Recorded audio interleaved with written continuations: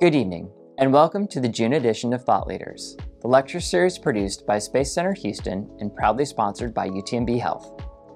I am Dr. Chris Haas, NASA flight surgeon and technical integration lead for the Orion project, but I also work with UTMB's Aerospace Medicine program as a professor in the Department of Family Medicine and faculty member of the UTMB School of Public and Population Health. I am excited to join you tonight in exploring the holoportation experiment a futuristic tool that could prove invaluable as NASA and others investigate deep space. NASA's vision of travel to Mars and beyond brings with it a host of obstacles to be conquered through innovation. Timely communication between the flight crews in outer space and mission control back on Earth will become more difficult as distances increase.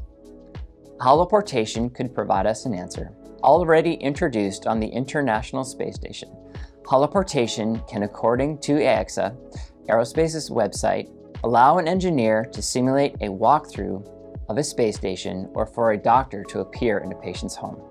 Tonight's speakers are Dr. Fernando de la Peña Llaca, President and CEO of Aexa, my NASA colleague flight surgeon, Dr. Josef Schmid, and Dr. Dave Williams, former astronaut with the Canadian Space Agency and founder of Leap Biosystems. They will share their work with holoportation and what we consider to be wild new technologies of today, innovations that can result in new discoveries and the advanced tools necessary to overcome obstacles in aerospace, medicine, and numerous other fields in the future. I look forward to learning more about and considering the possibilities of holoportation. Thank you for joining us for what should be a fascinating discussion. I hope you enjoy the lecture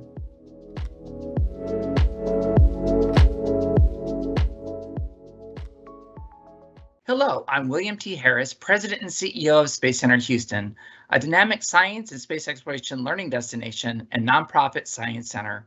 We also have the privilege of serving as the official visitor center for NASA Johnson Space Center. We share the story of human space exploration past, present, and future with more than 1.25 million visitors annually from around the world.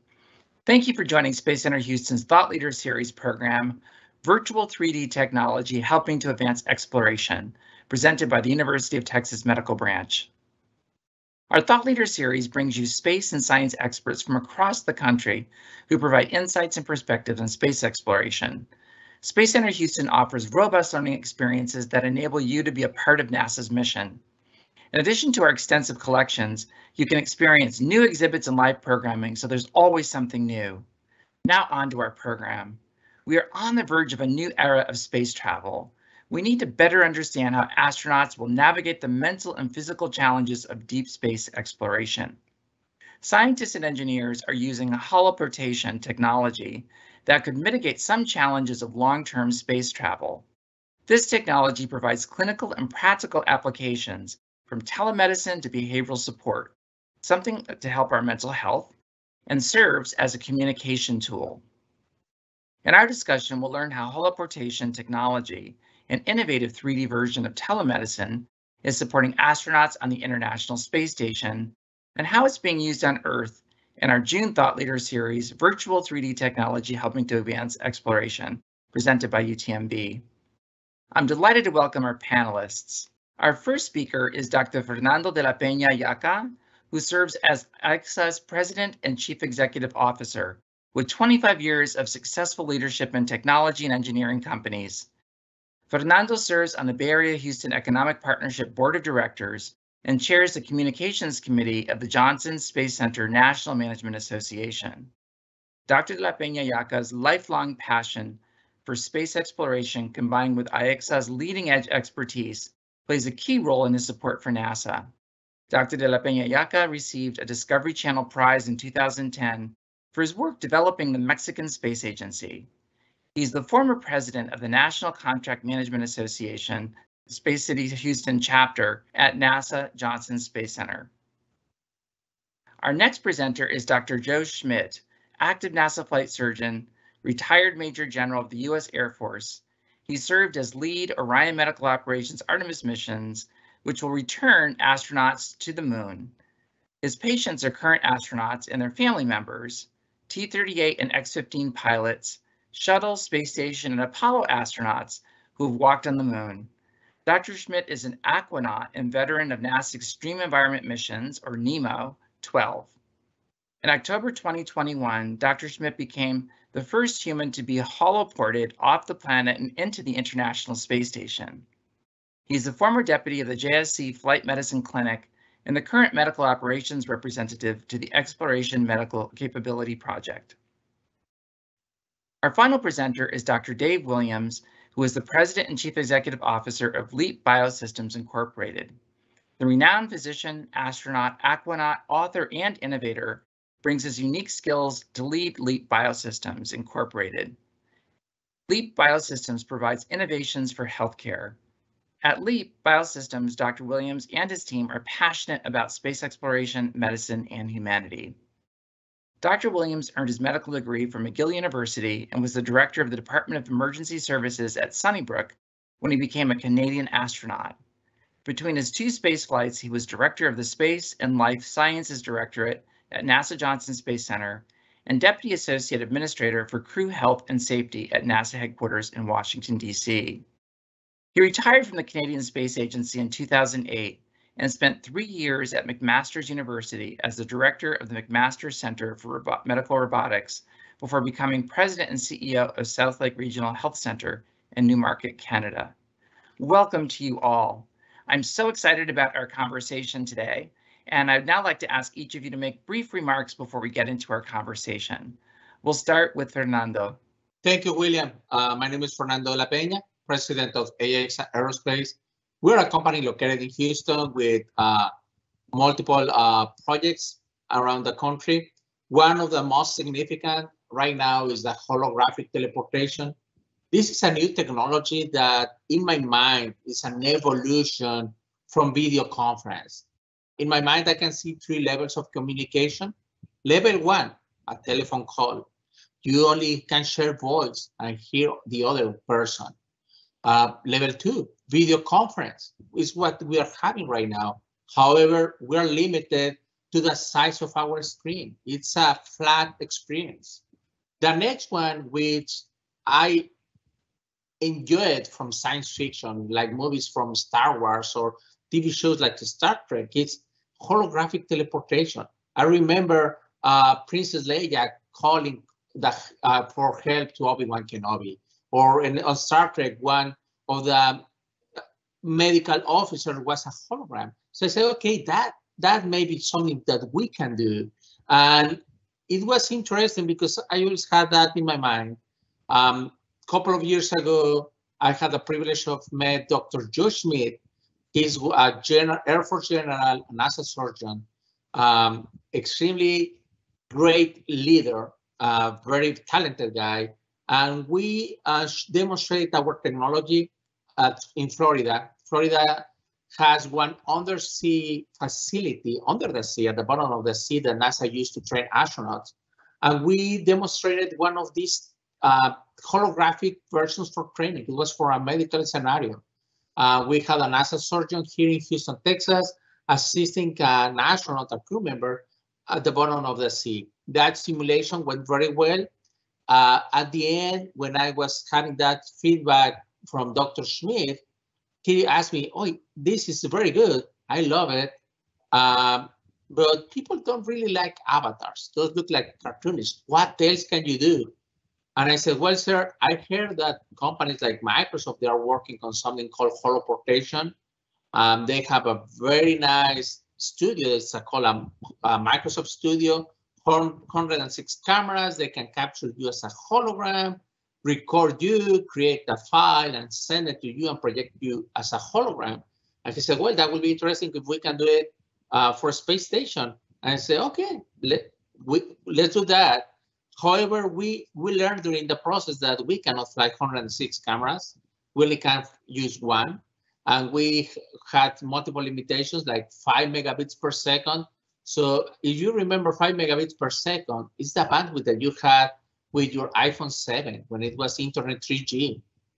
Um, so we figured out a way to make it happen, but I realized the importance of holographic teleportation see the other person, see that volume, that body language. Like if the other person is there, it's very powerful.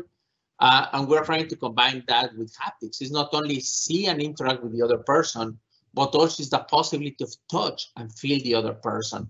So that's how we started this to make this dream come true, to be able to holographic teleport someone from NASA mission control to the space station, which is one of the toughest environments that you can imagine. And maybe Dr. Schmid will talk more about that. And but also we were able to holographic teleport someone, an astronaut, from the space station back to Earth, which will have multiple applications in the future, like allowing the astronauts to socialize with their families. We live in a confined space during the COVID-19. It wasn't nice. Imagine living on the state in the space station for six months or a year. I believe that this will be a powerful tool for the space station and for travels to the moon, Mars, and beyond. Fantastic. That was absolutely fascinating. And I'm real excited to try out your new, newest technology. I had a chance to try out an earlier prototype and it was wonderful. Uh, so excited to say we will now transition to hear from Joe Schmid uh, to tell us a little bit about his background and experiences. Joe. Thank you, William, and thank you to Space Center Houston. What an incredible honor to be with you all today. Uh, I got interested in space and space medicine I'm barely old enough back in 1969. I'm barely old enough, but I remember them landing on the moon. My mother actually woke me up and said, You got to see this. And I was hooked. I was four years old. Fast forward, uh, I was completely hooked with all the Apollo missions, including Apollo 17. I remember telling my mother, I got a stomach ache. I can't go to church today because uh, the truth was that actually they were lifting off from the surface of the moon and I wanted to see it. Um, fast forward I followed along with the Apollo Soyuz and the cooperation between at the time the Soviets and the United States, and then through the Skylab missions and shuttle missions. And then I happened to be at a summertime, uh, uh, like a summer camp for space uh, biology, and there was a speech uh, from a fellow who was talking about aerospace medicine, and he said that there's this field of medicine you can go into that combines both aviation and medicine. And I really liked physiology at the time, and I really liked aviation. I thought I wanted to be a pilot. And he said, by the way, there are these doctors that actually take care of pilots, and they they tell that the um, the pilot that they're healthy enough to go flying. I said that's really interesting, uh, and it requires going to medical school. So I decided, yeah, that's probably a good thing to go to medical school. Then he said, by the way, when you sign on the dotted line that they're healthy enough to go flying, they have to take you flying with them. And I knew exactly what I wanted to do. And then the guy said, there's also a group of these flight surgeons that take care of astronauts down at the Johnson Space Center. And so I knew exactly what I wanted to do and where I wanted to go work. And it so happened that I went to medical school and became a, an Air Force uh, flight surgeon and then came and worked at, at NASA. There are five elements of my job. I get to take care of astronauts in the flight medicine clinic. So I'm a, a family physician, but also an aerospace medicine physician. So I take care of active astronauts and then also the uh, astronauts from the X-15 and the Apollo era. So it's really like taking care of Lewis and Clark. And I'll tell them that, and they'll say, "I'm not that old. I'm not as old as Lewis and Clark." Of course not, but they are significant. They are incredible patriots and incredible explorers, and I get to work with them uh, regularly to see them for their annual exams and also handle anything that happens to them when it comes to just routine medical care. The second thing is I do is I am assigned to missions. And so for uh, shuttle, I took care of shuttle crews, and now I also work with the uh, Soyuz and the ISS crews as well. So we travel with our crew members. We go to Russia and then off to Kazakhstan and take care of them when, before they launch. And then uh, when they're on orbit, I work in mission control with the rest of the mission control uh, console operators and we talk with them once a week. And that'll be important when we talk about holoportation and the, one of the uses of it. And then when they return, we take care of them when they return. We're often the one of the first people to be there at the capsule and help retrieve them and, and get them back in great shape after they've been on their six month mission. The third thing I'm doing now is I'm assigned to the Orion vehicle that's going to take us back to the moon and onto Mars. And with that, in our medical team, we're de developing new medical kits as well as all the procedures to use in mission control and all the operational procedures to do the same thing to launch our crews to around the moon and take care of them while they're on the surface of the moon and then return them safely to to uh, to uh, the Earth through a splashdown. We're going to do it just like we did with the Apollo. And the fourth thing I do is I have to continuously train. Uh, half of what I learned in medical school is wrong and the other half I forgot. So I have to continuously read and get updated on the newest medical advances. And also we have to maintain our T38 as well as our console certification. So we're continuously training ourselves and we train other people. And then the fifth element is what I do is I call them special projects, which includes this holoportation, which is to me a really incredible new technology that we're going to use to take care of astronauts and their family members, um, astronauts in orbit and family members on the ground. And the way the holoportation took place was the, the project was that I, indeed I was working with Dr. Fernando de la Peña Llaca, and we were working with a simulation with the Aquarius habitat, as Dr. Fernando talked about. There was a uh, crew member uh, who was playing like she was a physician and uh, Samantha Cristoforetti, and she was taking care of another crew member who simulated that he was having shortness of breath. And we determined through telemedicine that that person was having shortness of breath due to a collapsed lung, which is very unusual, but it's really uh, uh, very hazardous for the patient. And through telementoring using the HoloLens, we were able to direct the simulated um, procedure to actually help with that medical issue and it was done successfully from here in Houston to Key Largo. And when Dr. Fernando was telling me about that, we we were successful, and he's he said, by the way, let me show you some of this augmented reality. And he placed an object out in the lobby underneath a lampshade and said, Joe, go out and find that object. And I looked, and it was underneath the lampshade. He told me that actually you could place that there, and it would be there three days from now or three weeks from now in augmented reality. And then we talked, as Dr. Fernando said, what else can we do with this? And he says, I have one more thing to tell you. It's about this holoportation, where you can actually take a person and put them in another location. And together we immediately saw the potential. We would like to take this to the space station. It took us about a year and a half to get all the permissions and, and all the technology lined up, but we were able to actually take the holoportation and take us uh, Dr. Fernando de la Peña Llaca and me, we were the first humans to go to orbit, and we did a simulated medical exam. I actually used Dr. de la Peña's uh, knee and to demonstrate a knee exam. We also did cranial nerve exams and and we demonstrated how to do a visual field. And then I we grabbed all of the people that were in the mission control room that we were working with, and we took them all to orbit. We did it a second time with Kayla Barron, who was in orbit on the International Space Station. And we made sure that we had a holoportation handshake there and interacted. I knew I was on orbit when Kayla said, Wow, I never had this happen before, but you're in my personal space. It seemed that she took an image of me and she moved into the image. So it looked like I was really close to her. But we had a very wonderful conversation and uh, really felt like I was with her and, and uh, she felt like I was with her on, on orbit. There are four basic use cases that we have for holoportation. Number one is to use it for private private medical conferences where you bring your physician to orbit and they can talk with you just like you'd talk with a doctor in in their office. The second thing which we recently did was you can bring private psychological or private psychiatric uh, physicians and psychologists to orbit and do the same thing where they can interact with the crew members.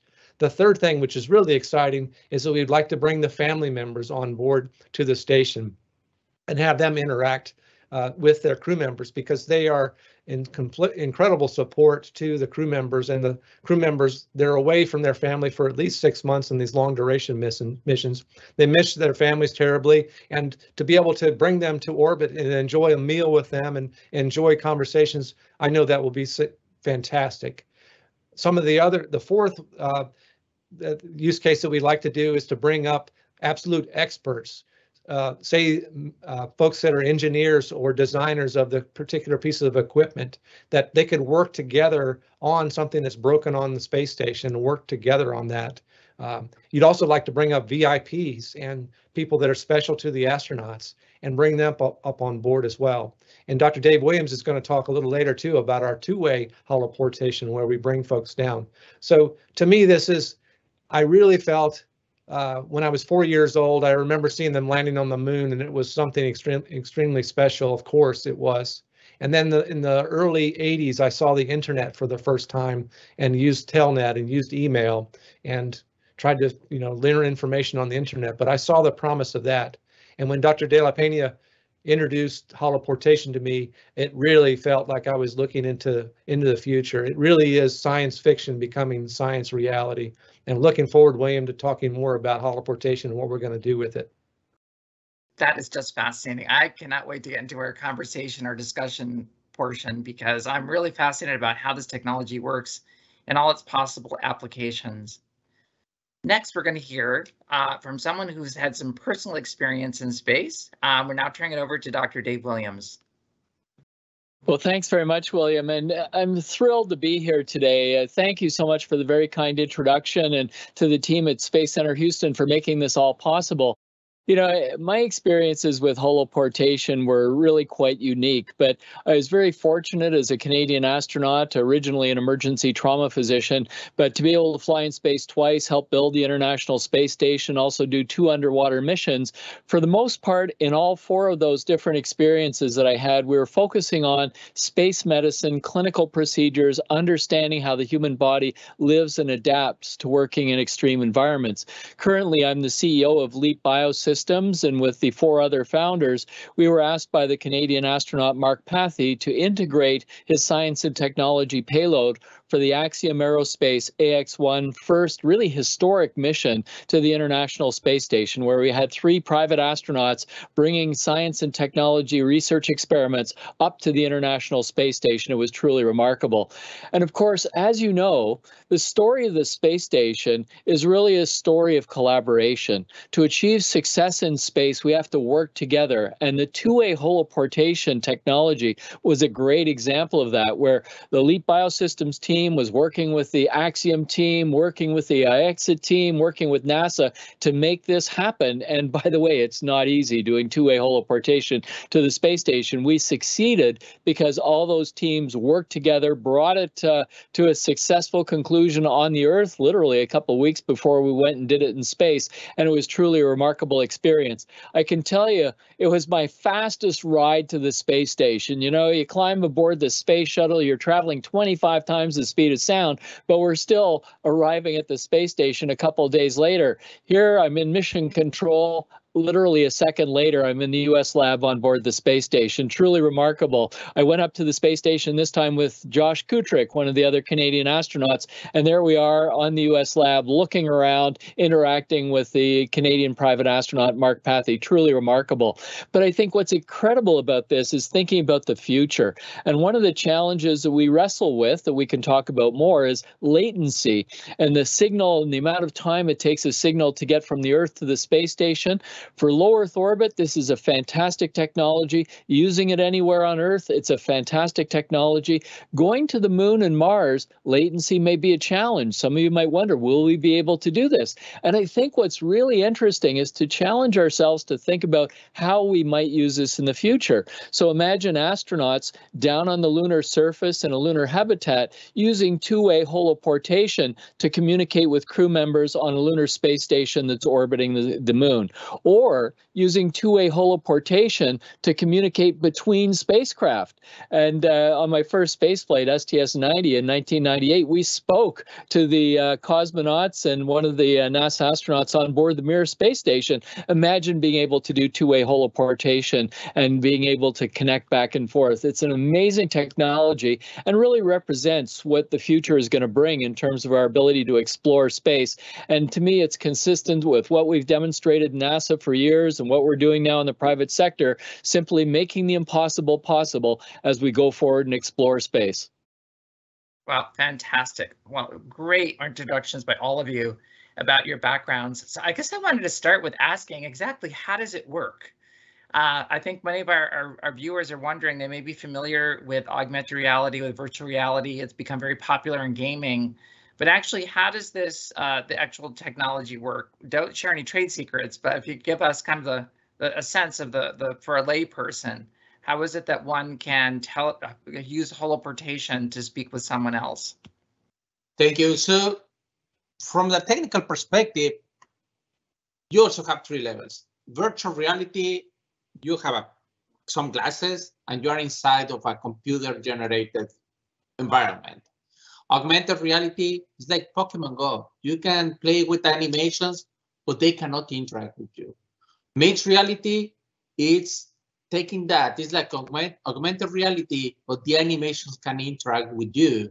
So the way that it works, imagine that we have admission control uh, at NASA, we have a camera that helps us to capture a holographic representation of the person of the or the object. And then we stream that using a computer to the space station. And on the space, in the space station, they have these glasses called the HoloLens, which, which is a mixed reality computer. So essentially it's like glasses, a little thicker, uh, that generates a hologram for my eyes. But at the same time, I can interact with my environment. I can see another person as a hologram and interact with that person, but also interact with my environment at the same time. For a two-way holographic teleportation, we replicated the same. The picture that you have right there um, shows a computer on a station, a camera, which is the same camera that we use for video games, uh, a Kinect camera, the one that you use for your Xbox, or the same kind of cameras that you have on your cell phones. And we project that hologram back to, to Earth and someone on the ground can wear HoloLens or they can use their smartphones or any other device to interact with that holograms. So essentially it's a two-way communication having on both sides one camera, which is a little different to recreate the hologram. And just very quick, to give you an idea about this, how this capture a hologram, if you are familiar with 3D printers, a 3D printer take multiple slices of an object and it creates multiple slices until it creates some volume. A hologram is the same, it's not different. Instead of having, it, it takes multiple pictures of someone in multiple layers, like a 3D printed object, but it creates a 3D printed hologram so I can see that volume in the space or in, in any other place that is fascinating. I can imagine. You described some of the applications. There's so many. And I was fascinated, uh, Joe, when you were talking about conducting a medical exam of Fernando's knee. But what is is there research happening now around haptics that you might actually be able to using holo technology somehow tactily because that's part of a medical exam, right? To to do some kind of a review to understand if, if somebody has some condition in their internal organs or skin or something of that nature. What's what's the status of developing a, a haptics feature? Oh, absolutely, William. You know, it you can do a lot of medicine just on the telephone, as a lot of people will do, and listen to a person's history. But to really, sometimes you have to diagnose people with your eyes and your ears and your hands often to be able to examine the patient it's very very important that that's done gently and and also that you are able to um, to feel lumps and bumps. Or if you're going to do surgery that you know how to retract the skin and you can feel when you're making a, uh, you know an incision with your instrument.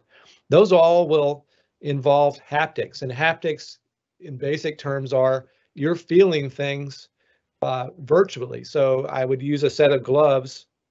That's one way to do it that has different pressure transducers on the gloves and I could in that virtual environment reach in with my ghost gloves and feel a patient's neck for their lymph nodes or or feel a, a lump or bump and then I would then the gloves would give me feedback on my hands to actually give me the sensation that I'm actually examining the patient. And as I mentioned, when, how you're going to make an incision, you should be able to feel the scalpel as it makes the incision. It's really, really important that you're able to do that. Now, how do you do that? I things are being developed now to be able to actually feel another patient with with virtual gloves. Can you use a robot to actually feel for you and then transmit that to you? Or or can you use the video itself to actually use ghost hands to feel the vid, the three-dimensional structure and then give sensations back into your hands to actually get that sensation so that it becomes uh, real to you that you're seeing the patient, you're hearing the patient, you're feeling the patient and they're actually the next step will be they could feel your hands on them to to be able to feel that exam there are other you know haptic suits that people could wear that would actually you know, give that same pressure transducer sensation both to the patient as well as to the examining physician.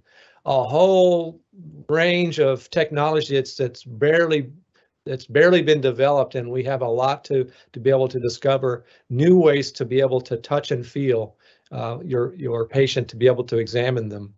Uh, it's there's a lot of work to be done, but I think we'll be able to do that. You know, eh, one of the things, Joe, that I think is really interesting about this is the evolution of one-way holoportation into two-way holoportation. And clinically, when you go and interact with a doctor, it's a I see you, you see me kind of environment. So in other words, it's the two-way holoportation. But one of the things that's so critical to space medicine, as you've really very well described, is the fact that we have to be able to provide just-in-time training to crew medical officers in space. So we start off with two-way holoportation, where the flight surgeon on the ground is talking to the astronaut crew medical officer, I see you, you see me. And then we transition to one-way holoportation, where essentially I see what you see, you see my hands and follow what I'm doing. And that evolution is going to be really exciting to see us bringing that into routine use in low Earth orbit. And then adding haptics to that, that's going to be incredible. And Dr. Williams, I completely agree with you. You know, there are medical schools now that are doing haptics work, and there are medical schools that are doing lots of simulation work. And you're exactly right. To be able to bring a physician in, you know, a teacher like yourself, and bring them into a uh, to a room and have them interact with a new student doctor, it adds tremendous confidence to both that both those persons and to the patient themselves too that that patient's getting the best possible care because they're getting not only the junior physician and also the senior physician but they're working together. And the whole team feels good that that uh, that you're going to get the best possible outcome. That is very star wars. That is quite fascinating to think that we're this is actually happening. So i guess my my next question for you would be um, what do you see as being kind of the, the next generation? What is being worked on now? We've talked about the haptics, but are there other features of holoportation that are being developed? Is it higher resolution imagery? The two we began to talk a little bit about the two-way holoportation, which is amazing. So you're having a real-time conversation with somebody using the holo technology. Um, is there conversation or exploration around having multiple people participating in holoportation? Fernando, yes. what do you have up your sleeve? No, um, there are two. We are increasing three aspects of the holographic teleportation. One, of course, is resolution. Right now is multi-user. Right now, we can have 300 people connected. So if it's possible, we can have three people experiencing the space station. And one of the goals is to do it on the moon. Imagine holographic teleport a lot of people to the moon and exp experience that but one of the aspects, and Dr. William described that very well, is when we will go to Mars, we will have a huge delay in communication. We may have like a nine minute delay. Um, and the way to fill that is with artificial intelligence. We, uh, when, when I say that we, uh, Dr. Schmid is leading this, is we are trying to incorporate artificial intelligence to fill that gaps and create a holographic assistant, someone that can with quantum computers that can understand some of the aspects and can fill those gaps in communications. That's one aspect. And the second aspect that we are also working on, um, at least we're projecting to work on this, is the possibility of move machines or manipulate machines. Imagine that I can have a robot on a station or on the moon, um, and Dr. Schmid or Dr. Williams can manipulate that robot, like if they are there, but for the astronaut, you will be able to project a hologram overlaying that robot body. So for the crew member, it will be interacting with Dr. Schmid or Dr. Williams on the moon. And it's going to be a body they can move and manipulate to move objects or an engineer. So essentially, we're aiming to those uh, two aspects. One is artificial intelligence, and the other one is the possibility of manipulate hardware from distance. That is fascinating. So I'm, I'm, I'm artificial intelligence is a huge area of R&D, right? And there is actually multiple generations of robots being developed. Um, in fact, at NASA Johnson Space Center, and they're anticipated to support humans in the future. Perhaps you then communicate with your teleportation with the net with a robot with Robonaut 5 or, or Valkyrie with uh, something that we're that we're all pursuing. Um, I'm curious about how you each got into what you're doing. Um, kind of what are your your stories? You've talked about your professional development, the things that you're doing now, but what in life, um, you know, really got you interested, and how did you pursue your path into uh, being where you are today? Yes, I, I shared a little bit about uh, how I became a, a, flight surgeon. I share that because uh, if I could do it, anybody can do it. Uh, it is a wonderful set of circumstances where you get exposed to multiple things, just like Space Center Houston does. You expose these students to wonderful engineering and and videos and movies and people, and then those young kids get an idea where they want to go in their career. And I thought at the time that you know I would do 40 years as a family physician and not be able to change. That was not the case actually. Throughout my career, I've continuously changed with doing family medicine to uh, sports medicine to taking care of uh, ladies and delivering babies and and and doing orthopedic medicine and then doing aerospace. And then even at NASA, you can evolve your career as well. So I started off in the flight medicine clinic and then evolved to getting my shuttle certifications and ISS. And I worked for Dr. Williams for a number of years as well. And uh, then you do opportunities working with the Aquarius habitat. And now coming up with new ways of, of how to do uh, delayed communication. Uh, things continuously change and we're able to continuously evolve. Uh, the partnership with working with Russians, Japanese, Canadians, the Europeans and the US and a number of other uh, it just continues to evolve who you get to rub elbows with and then with commercial with Fernando de la Peña Llaca and and with government and military. It's really a wonderful place to be in Houston to bring all those things together and continuously get exposed to new people new opportunities and in this case off the planet uh, opportunities to to take technology new places and medicine new places. So William, it just continues to evolve and uh, and you just keep your eyes open and look for the opportunities. The opportunities present themselves. People present themselves like this recording, and uh, you just come together with people and come up with new ideas and goals, and and together with a stellar team like we've had for holoportation one and two, you can achieve things that you didn't even thought you could dream about. William, I might add that uh, you know, I was a kid growing up in the 60s. I watched Alan Shepard lift off to go into space on a small black and white television, and I dreamt of becoming an astronaut. And of course, back in those days, Canada was the third country to put satellites into space, but we didn't have an astronaut program. So when people asked me, What do you want to do? And I said, I'd be an astronaut, they said, Well, you can't do that because Canada doesn't have an astronaut program. Well, lo and behold, if you believe in yourself and you believe in your dreams and you don't let other people define your dreams for you, it's amazing how things change over time. And one of the things that I love about being in this area of innovation and developing new technologies to further space exploration is that we have to drive technology to the point of failure to learn how to make the technology more robust and how to make it really functional in those extreme harsh environments that we work in, whether it's space or underwater. And there's this kind of yin yang relationship between developing technology for space and developing technology on Earth. That, yes, we develop this technology based on the requirements to support medical care in space. But in so doing, we create a capacity that could be used in remote communities on Earth, made better, improved upon, and we take that newer technology back to space and we continue this cycle of technology development where literally everyone wins. And uh, we use the technology to further exploration in space, but we also use the technology to transform the way we deliver healthcare here on Earth. Very good. And my story is not as fascinated as uh, their story, but uh, when I was very young, um, I was four, my parents bought me my first computer, a Commodore 64, and my Atari, which was the Xbox by our time, and I used to program and interact with the computer and open the games and see the electronics. And that interest grew over time. Uh, I was a huge, I'm still a huge fan of a TV show called Robotech or Macross, which is a TV show from Japan about space exploration, and I was fascinated.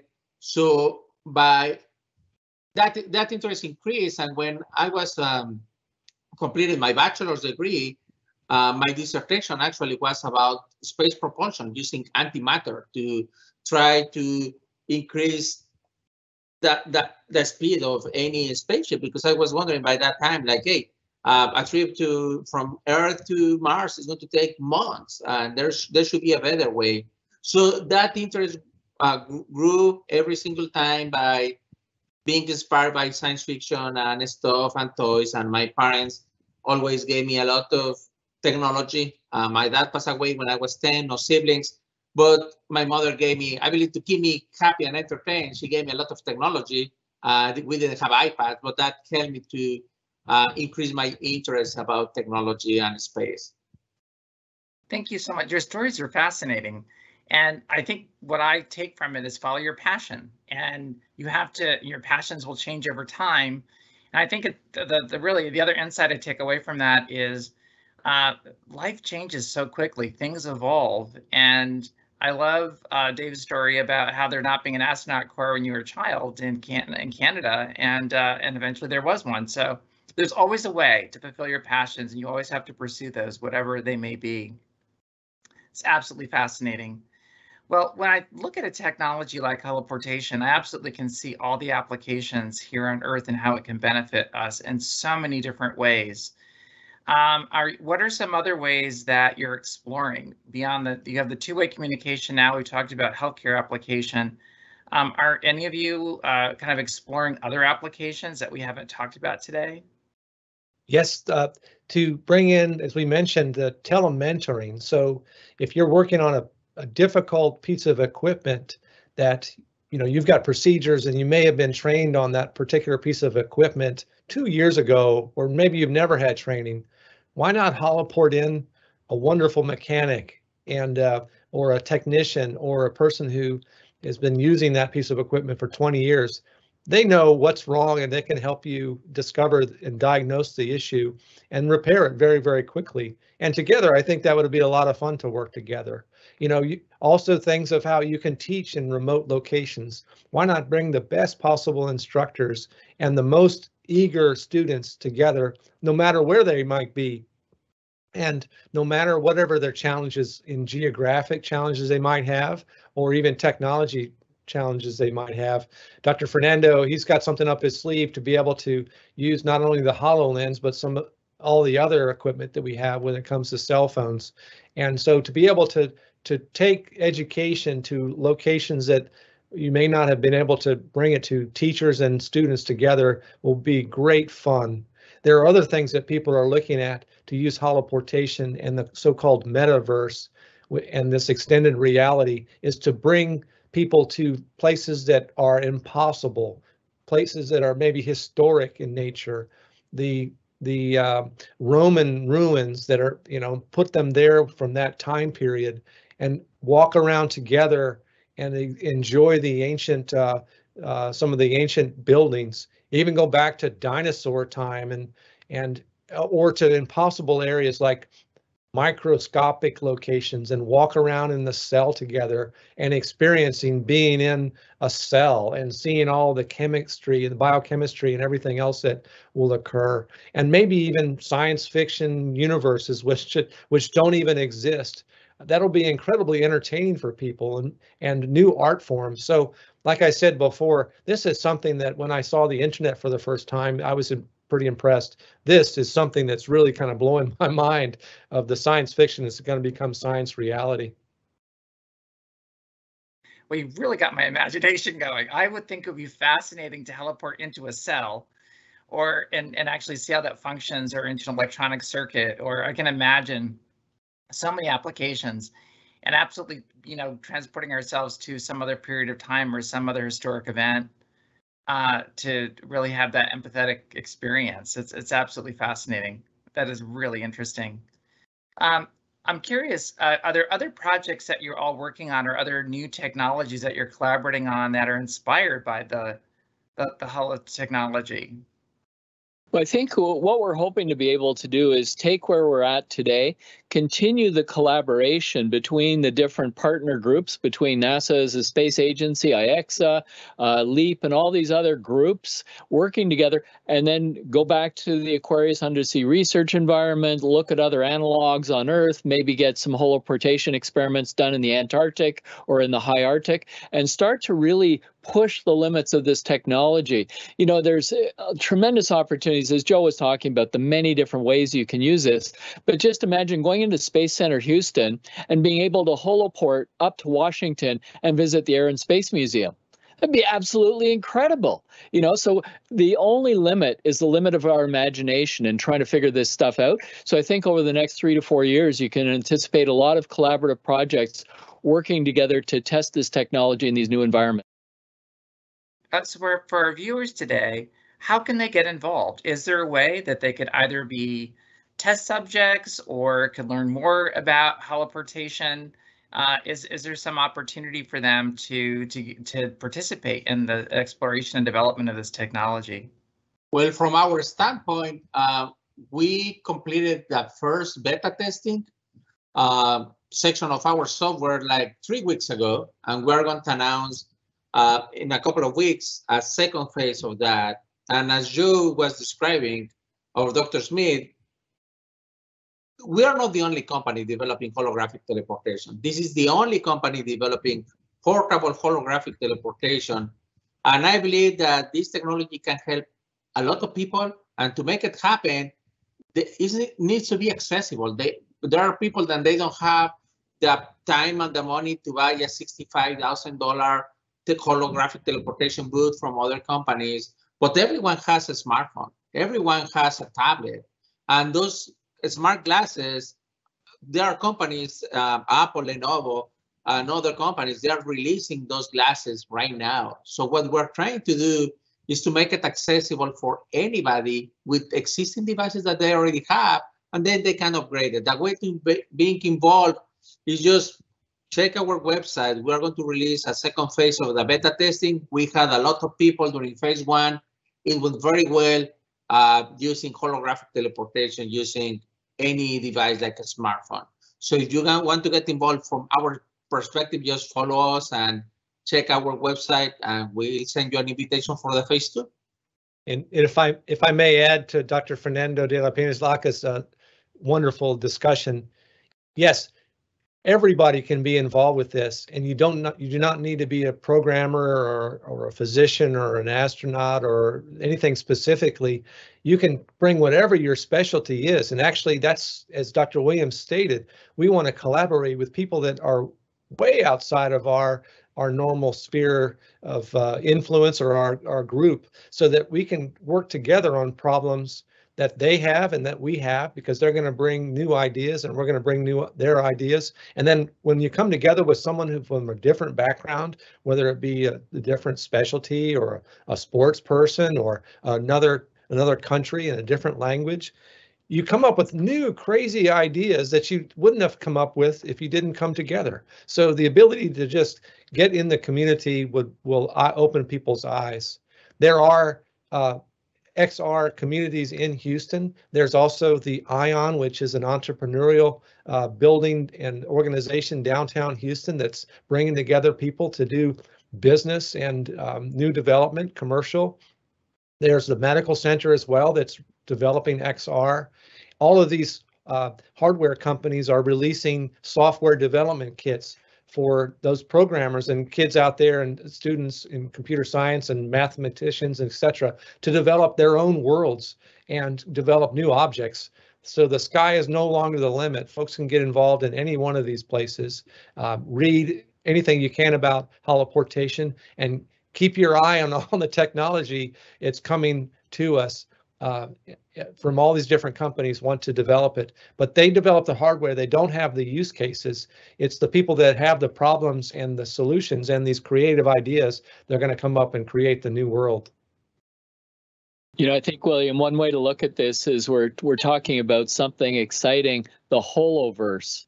And fundamentally, when you take this technology and put it in the minds of in the hands of many different people from all over the world, creativity will be unlimited And we're going to see all sorts of unique applications of this technology. But you know, certainly from the perspective of enhancing the quality of healthcare globally, uh, providing uh, remote solutions and maintenance of equipment, servicing all these different things, the educational experiences, allowing us to send individuals out into different unique environments on Earth. It's going to be really exciting watching this holoverse evolve. What an exciting conversation. I think we need to have a test area at Space Center Houston where people can come out and try out the the Holo, HoloLens. And I love the Holoverse uh, uh, representation of our world because I think it's really true. It, it is a great way to open up our world past and present and also for the future. William, if I may, you have to experience this and there are different ways you can experience it. You know, there is the the uh, virtual reality, you can use the Google um, Cardboard and use your smartphone, and that's a early way to do it, and it's an inexpensive way if you got a smartphone. And then to go to some of the libraries and some of the of the um, different uh, uh, organizations who do maker sheds and things like that. Some of those guys and gals have these these devices. You have to experience that the one-way holoportation was incredible. The two-way holoportation was out of this world to be able to experience uh, someone coming from another location. People have to experience it. We can describe it, but when you see it and feel it and hear it, it will change your idea of what reality is.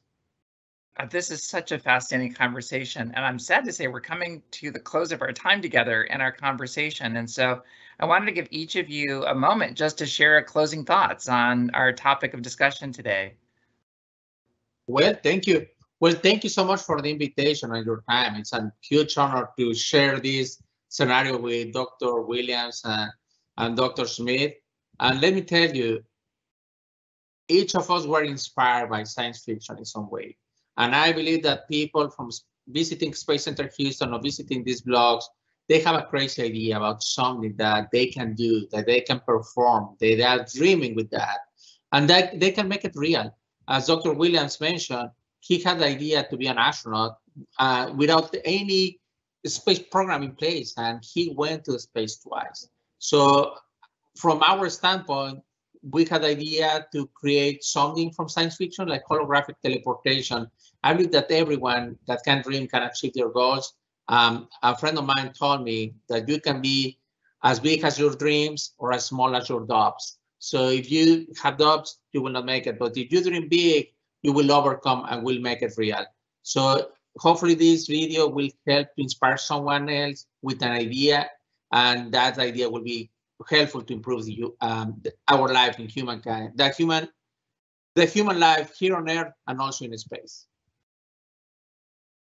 I tell you, this is an interesting and a wonderful time to be alive. And people talk about, they think about what they should do in life. And I'm reminded of the Japanese word ikigai, which is, it basically says there are four things that are good. And if you can line these four things up, you will have a wonderful life and a wonderful profession. And people talk about passion. We should always be passionate about it. But the Japanese have a way to say, do something that you like doing, do something that you are good at and you can train to be good at, do something that you'll get paid for because you got to learn a living, and do something that's good for the world.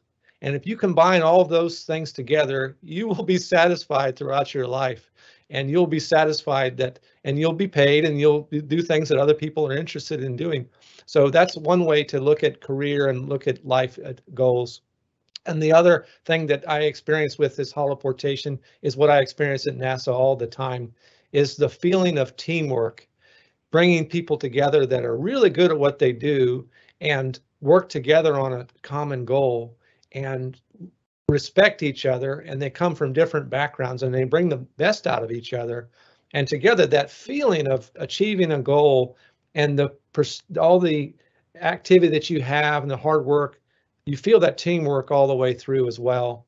And to have an overall goal to improve life and improve health and improve the ability to explore. And then holoportation to me it will allow all of us to experience space flight from space center houston connecting up to the to the moon and connecting to ISS and for the crew members also to come down and experience it as well as the Aquarius habitat to experience that virtually in reality and to experience history.